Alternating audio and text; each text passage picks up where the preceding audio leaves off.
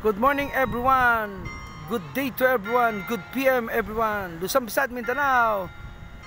Naspili, Nixon Lebron is back again, Antipolo Church. Ito ang kalagayan dito, katatapos lang ng misa.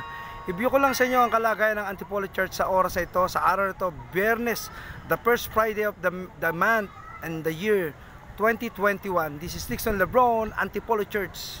Ano ang kalagayan dito?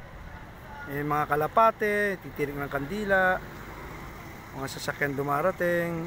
Ayan. Antipolo Church. Ayan. Ano, yung ko lang sa inyo. Ah, tapos na yung misa kasi. Ah, nag, nagamit ko yung misa kanina sa ano, si Mateo, si Mart, si Lucas at si John. Yan yung mga yan. Good morning, Happy New Year 2021 January. This is Nixon Lebron, Antipolo Church. Uh, salamat po sa patuloy na mga nagtsatsagang manood ng video ko. Eh, sa lahat ng mga hindi makalabas ng bahay, subscribe kayo sa channel ko, papasyal ko kayo. Ganito lang naman po ang buhay. Kailangan libangin mo. Kung may pagkakataon ka sa lahat ng bagay, gawin mo na hanggat ikaw ay may buhay. Uh, ito po, si Nixon Lebron. Sana po, uh, please like and share and comment my YouTube channel. And don't forget to subscribe.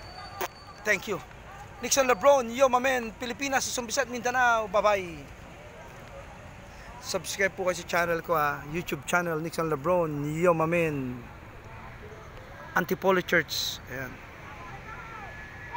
Gusto talaga picture taking.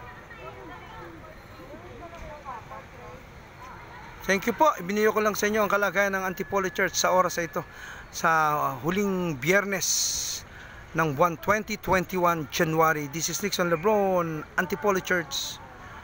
Ano ang kalagayan dito. Thank you, thank you, and good day to everyone. Bye-bye!